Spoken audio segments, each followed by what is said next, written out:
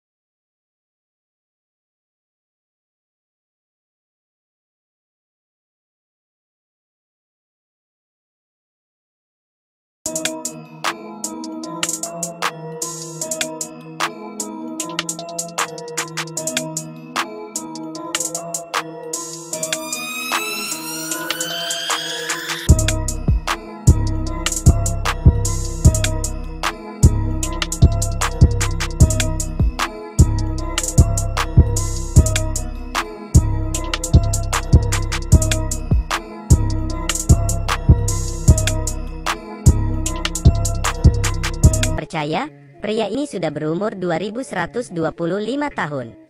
Umurnya masih ada 9860 tahun.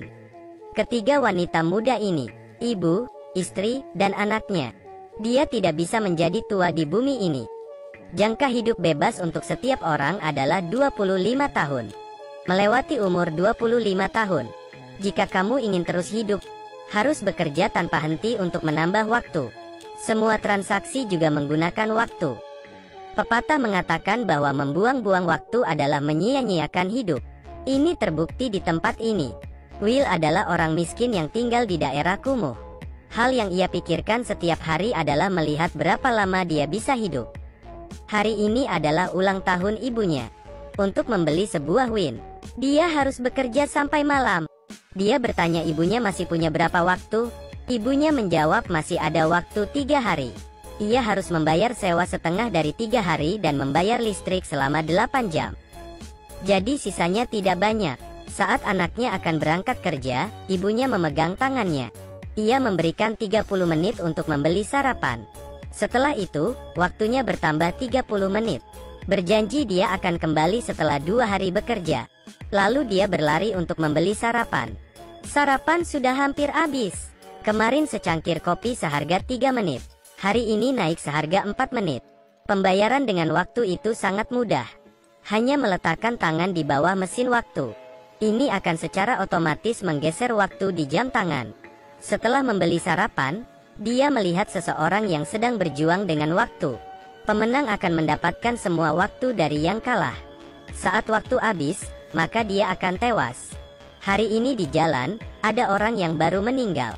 Will, yang bekerja keras selama sehari, tidak mendapat tambahan waktu. Pemimpinnya berkata, indikator misi meningkat. Dia tidak menyelesaikan tugasnya. Jadi waktu tidak ditambah. Tidak ada cara lain, dia pergi ke bar. Siap untuk dimanfaatkan, meluangkan lebih banyak waktu. Melihat seseorang yang begitu banyak uang. Karena di tangannya dia punya waktu 116 tahun.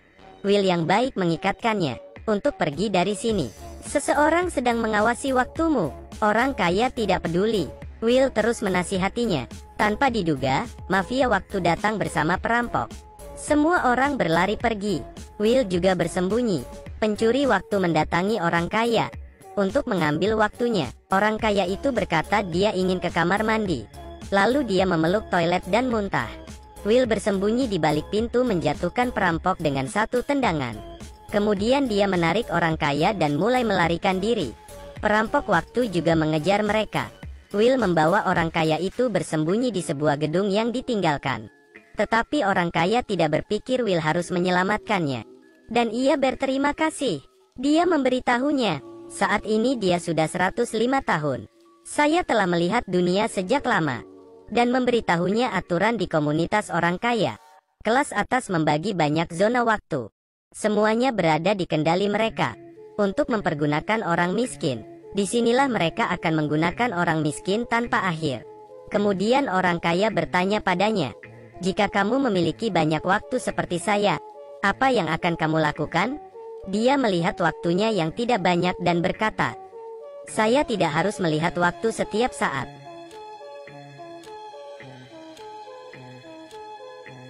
Saya beritahu kamu sesuatu. Jika saya banyak waktu, saya tidak akan menyia-nyiakannya. Kemudian mereka berdua tertidur karena minum anggur. Keesokan harinya saat ia bangun, dia melihat orang kaya itu sudah tidak ada. Kemudian dia melihat waktunya bertambah 116 tahun. Lalu dia menulis kata di jendela, jangan buang waktu saya. Kemudian dia melihat orang kaya itu duduk di atas jembatan. Waktunya hanya tinggal beberapa detik. Di akhir hidupnya wajahnya terlihat puas. Waktu habis. Dia berteriak keras dan jatuh ke dalam air. Will mengejarnya tapi terlambat. Dia melihat tubuh pria itu mengambang. Dia hanya bisa pergi, tapi di sana ada kamera CCTV. Dia kemudian bertemu dengan temannya. Dia memberitahu apa yang terjadi dan memberinya waktu 10 tahun. Sampai malam hari, dia membeli sebuah bunga untuk memberi kejutan pada ibunya. Tapi dia tidak melihat ibunya. Kemudian supir bus menyuruhnya untuk membayar. Dari semula satu jam menjadi dua jam. Dia hanya punya satu jam 30 menit. Tidak ada cara lain. Dia hanya bisa berlari pulang. Will mulai khawatir karena tidak melihat ibunya. Dengan membawa bunga di tangannya. Dia kemudian berlari mencari ibunya. Setelah melihat ibunya, tapi waktu ibunya hanya tinggal 10 detik.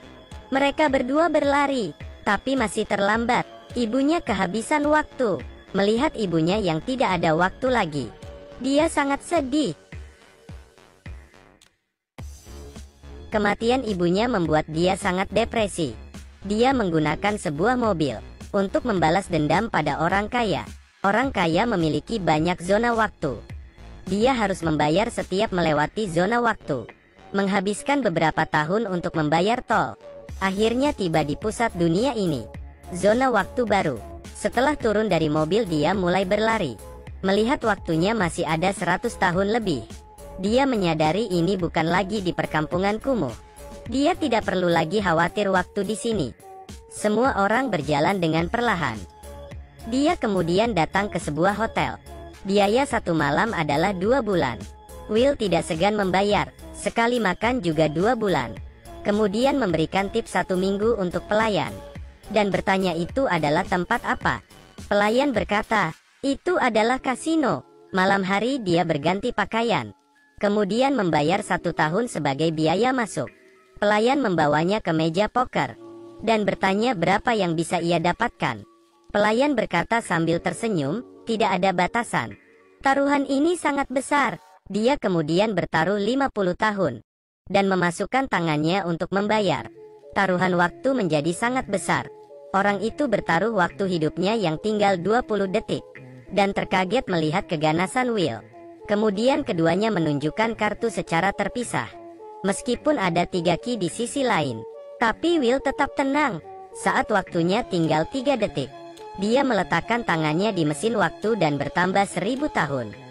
Dia tidak tahu bahwa orang di depannya berumur lebih dari 2000 tahun. Hampir 10,000 tahun tersisa. Dia adalah orang di balik dunia ini. Dan mengagumi keberanian Will, mengundangnya untuk datang ke pesta. Keesokan harinya, dia harus membayar 50 tahun untuk datang ke pesta. Membeli sebuah mobil. Kemudian dia datang ke sebuah villa dan kemudian dia memperkenalkan tiga wanita cantik. Itu adalah ibunya Lala, kemudian istrinya Michelle, dan anaknya Tantan. Karena ini adalah pesta orang kaya. Tantan tertarik dengan Will. Kemudian mereka berdua menari. Setelah mengetahui ada laut buatan di belakang, Will yang belum pernah melihat laut datang bersama Tantan. Kemudian kedua orang dibawa kembali ke villa. Kemudian saat tiba, dia dibawa ke ruang inspeksi. Berkata dia sudah membunuh orang, mengambil waktu orang itu, dan menyita seluruh waktu Will. Hanya tinggal dua jam. Will tidak tinggal diam. Dia memukul kedua petugas dan menyandera Tantan pergi dari villa. Saat itu, mereka mencoba mengejarnya. Will mencoba menghindari truk, tapi mobil yang mengejarnya tidak beruntung. Menabrak mobil yang mengejar mereka. Dia hanya bisa melihat Will sudah kabur. Saat di tengah jalan, Keduanya mengalami kecelakaan. Mobil mereka jatuh terbalik. Mereka adalah penjahat di bar. Saat mereka berdua sadar, melihat waktu hanya tinggal 30 menit. Dia membawa Tantan berlari. Dia menyerahkan anting berliannya. Saat bos melihat waktu Tantan hanya tinggal satu menit. Dia memberinya waktu dua hari. Mereka kemudian melihat sebuah iklan. Ternyata ayah Tantan ada di balik semua ini. Lalu memberinya panggilan memintanya untuk menggunakan seribu tahun membebaskan anaknya. Lalu dia pulang ke rumah. Ayahnya tidak begitu senang, meskipun dia tidak membayar tebusan. Tetapi Will membebaskannya, memberinya kesempatan untuk membela diri. Ayahnya tidak ingin menyelamatkannya, membuat Tantan sangat marah. Dia menelpon ayahnya. Saat itu, dia kemudian melihat Will dan menembak penjahat itu. Kemudian Will yang kaget melihat itu, mereka berdua segera kabur. Kemudian mereka tidak bisa berhenti dan menabrak pintu bank. Mereka mencuri banyak alat mesin waktu, memberikannya pada orang miskin. Banyak waktu di area sipil. Pemantau waktu melihat perubahan waktu yang berubah, membuat kedua orang ini menjadi buronan, memberikan hadiah untuk yang membawa mereka. Saat mereka berdua sedang bermain poker, mafia datang ke tempat mereka. melihatnya dari jendela. Dia memecahkan jendela. Mereka berdua melompat keluar. Keesokan harinya, mereka berdua datang ke sebuah hotel. Tapi tanpa diduga, penjahat menemukan mereka. Pencuri waktu datang masuk. Dia memberitahu Will alasan kenapa dia bisa begitu menarik. Karena dia tidak pernah menyentuh dunia orang kaya. Dan membantu mereka menjaga ketertiban di dunia kumuh. Sekarang yang harus ia lakukan adalah membunuh Will kemudian mengembalikan keadaan wilayah sipil seperti sebelumnya. Terakhir, dia memutuskan untuk bergulat waktu dengan Will. Penjahat itu tidak tahu bahwa dia menekannya, dan membuatnya hampir nol. Kemudian tiba-tiba, Will menarik senjatanya dan menembak penjaga. Dia kemudian mencuri waktu, dan membunuh penjahat itu. Dia pikir semua orang akan punya cukup waktu sekarang. Tapi tidak terpikirkan toko menaikkan harga, membiarkan semua usaha Will tidak berjalan baik. Kita sudah kalah. Waktu yang kita ambil tidak bisa mengalahkan mereka. Tantan bertanya apa yang bisa dilakukan agar menang. Kemudian Will berkata, ada 1,000000 waktu juga bisa. Tidak terpikirkan, Tantan berkata mari ambil 1,000000 waktu. Lalu kemudian mereka datang ke bunker membuka alat itu. Di dalamnya ada mesin waktu 1,000000 tahun. Kemudian Will mengarahkan pistol padanya. Jika waktu ini dibawa ke orang sipil, dunia ini akan menjadi kacau. Akan merubah segalanya. Kamu juga tidak bisa seperti ini. Karena orang itu egois, tidak ingin bertambah tua. Hanya sedikit orang yang mendapat kehidupan. Ini harus menjadi biaya kebanyakan orang. Will berkata, tidak ada orang yang dapat kehidupan. Kemudian mereka berdua membawa mesin waktu ke daerah kumuh. Pengawas waktu memberi perintah untuk membunuh Will. Karena tidak boleh ada yang mengganti situasi ini. Keduanya melewati gerbang pembayaran. Saat dia memberikan mesin waktu pada orang di daerah kumuh. Jadi semua orang ingin menambah waktu mereka. Will dan Tan Tan segera kabur. Penjaga waktu menemukan mereka berdua. Dia dan Tan Tan hanya punya waktu beberapa menit. Waktu berlalu dengan cepat, lupa kalau dia juga tidak pernah melihat sisa waktu. Saat waktunya habis, dia langsung tewas. Keduanya hanya punya waktu satu menit. Kemudian dia melihat sebuah mobil parkir. Saat waktu hampir habis, mereka harus segera ke mobil. Ia berlari ke mobil. Dan saat dia kembali ke Tantan, dia menarik tangan Tantan.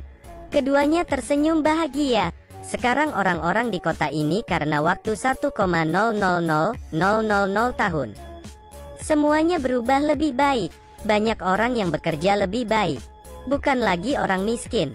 Bukan lagi daerah kumuh. Tidak ada lagi kejahatan. Semuanya ingin menikmati waktu dengan baik. Akhirnya, Will dan Tantan berhasil melaksanakan misinya. Bersiap untuk melihat akhirnya.